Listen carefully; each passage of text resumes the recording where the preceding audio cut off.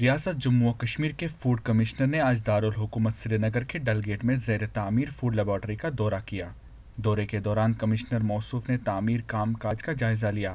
Food laboratory کو تمام طرح کی سہولیات سے لیس کیا جا رہا ہے۔ بازاروں میں بیچے جا رہے تمام قسم کے غذائی اجناس کے معیار کی اس لیبارٹری میں جانچ کی جائے گی۔ وہیں دوسری جانب اس فوڈ لیبارٹری کو شروع کرنے اور اس کے تمام خدوخال کے حوالے سے کمشنر موصوف کی صدارت میں ایک جائزہ میٹنگ بھی منعقد کی گئی۔ اس موقع پر کمشنر نے عوام سے تعاون کرنے کی بھی اپیل کی۔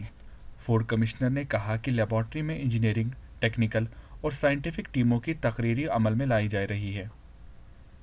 جبکہ ضروری اور جدید ٹیکنالوجی سے اس لیبارٹری کو لیس کرتے ہوئے اسے جلد ہی قابل استعمال بنایا جا رہا ہے۔